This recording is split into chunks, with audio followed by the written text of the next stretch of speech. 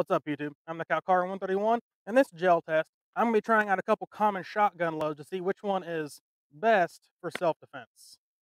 Pretty straightforward video, I suppose. A couple different loads here. I have some Rio number 4 buckshot 27 pellet. I've seen this on a couple uh, online sort of articles comparing and ranking different uh, the best, quote unquote, the best shotgun loads for home defense slash self-defense which, as an aside, right now, I'm not saying that I specifically recommend a shotgun for home defense. I did an entire video right here on what I think is the best platform, I guess you could say, for uh, home defense. So if you want my kind of opinions on that, we'll go watch that video. But if you did choose to use a 12 gauge shotgun for home defense, I have number four buckshot, Rio double aught buckshot, nine pellet, and some Brenneke Classic Magnum slugs. so I, I do understand. I do understand the fact that uh, there are actually some companies that make like purpose-built shotgun loads for self-defense. For instance, the what is it, Winchester PDX One, I believe, is one that is pretty much made and marketed specifically for home defense. I'm not testing those. Obviously, I'm just testing a couple different uh, common loads. So I got a couple old and used blocks of uh, clear ballistics gel here, 10% but it'll work for this test. It's what I got right now. So I'm going to step off to about five yards. I'm going to be shooting this out of my Panzer Arms M4, Benelli M4 clone, and I will start with the number four buck. About five yards away, once again, this is the Rio number four buck. I have my chronograph set up. I don't know if it's going to record anything. It's been really finicky. I'm still trying to work out exactly why it doesn't seem to be recording stuff, but Let's see what does the job.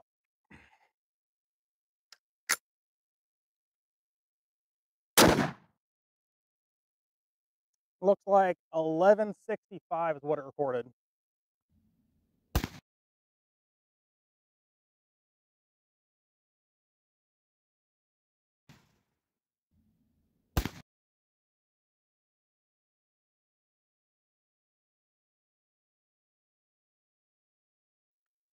All right, interesting results.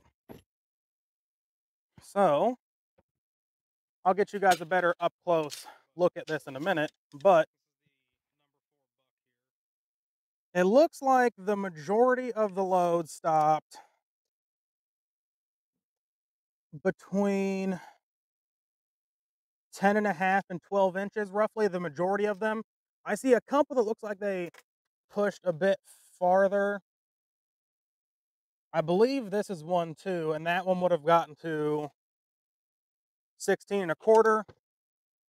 I see a couple that are more like nine and a half, but we'll say rough sort of generalized penetration average is say about 11, 11 and a half inches. Now, the standard that I'm looking for in all of my gel tests is 12 to 18 inches. I'm going to be making an entire video covering why I use that for my standards because a lot of people don't seem to understand. Basically, the smart people at the FBI decided that a bullet, a, a, bullet type or a load that penetrates between 12 and 18 inches will typically, in a large variety of situations, penetrate deep enough inside a human body to reliably hit and destroy vital organs, causing very rapid blood loss and incapacitation. I'm going to be doing an entire video because I'm sure there are some people that aren't going to understand why I do that. So watch out for that video. But Rio number four buck, it got about 11 inches, so just a little shy of what I'm kind of looking for. Five yards. Now I got the Rio uh, double aught buck nine pellet. See if my chronograph will continue actually recording stuff.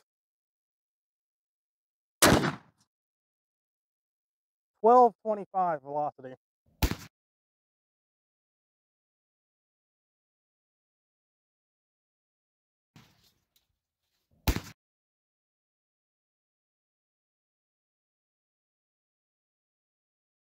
All right. Let's inspect the double aught buck here. So nine pellet. One, two, three, four, five, six, I count six here. seven. I count at least seven that stopped all around right around here. So penetration, something like the average center of the pack is about 19 inches. So that is slightly over the standard I'm looking for once again.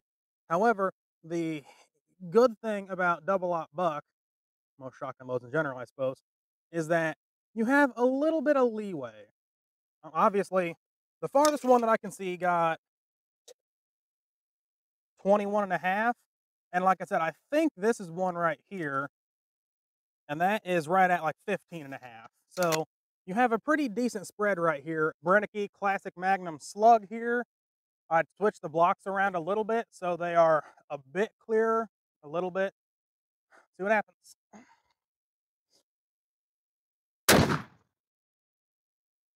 Error, I didn't get a velocity.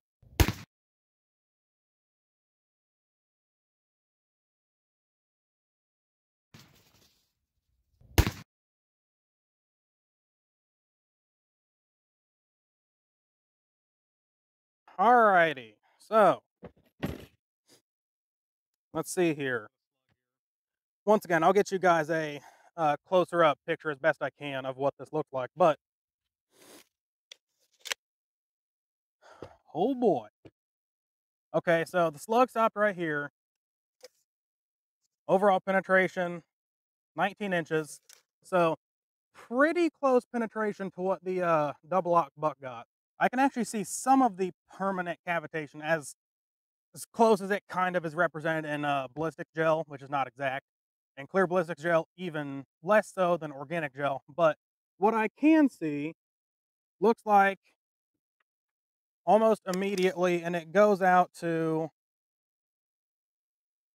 probably 11, 11 and a half inches of what the, again, permanent cavity that is shown in ballistic gel is showing. So in the end of this gel test, I think I have to conclude that the slug and the double aught buck both kind of share the victory in this case. Yes, they did penetrate a little too much, but personally, I would rather have a little too much penetration than not enough. The reason for that is I believe the over penetration, while something you should consider, is vastly overly worried about. Okay? I encourage all of you, and if you can find anything like this, link it in the comments. But I cannot really find any instances of a civilian, a lawful self defense shooting as a civilian, that a third party bystander is hit and seriously injured slash killed, whatever. I can't really find any of it. If you can, link a link an article or something about it in the comments down below. But I can pretty much bet money that it almost never happens to kind of back that up again, in addition to what I just said, I can find almost no instances of cops being sued because of hitting a innocent bystander. When if you look at the facts, cops are probably more likely to engage a target in public around other people. So I think overpenetration is kind of overstated and over worried about, which is why the slug and the double aught buck which both penetrate a little farther than the standard I look for, I'd rather err on a little bit too much than not enough. So wrapping up, I think I would have to say that the double aught buck and the slug are the two that definitely won this test. Very simply, they got slightly more penetration than I want, but I'd rather have a little too much than not enough. So in this one very specific test, one specific test, not the end all be all, double aught buck and the slug are the ones I'd pick. If you enjoyed the video, you found it informative, whatever, give me a like. I appreciate it. Tell me in the comments what you thought. If you want to see more content like this in the future, go ahead and subscribe. I'm the Kalkara 131. Signing off.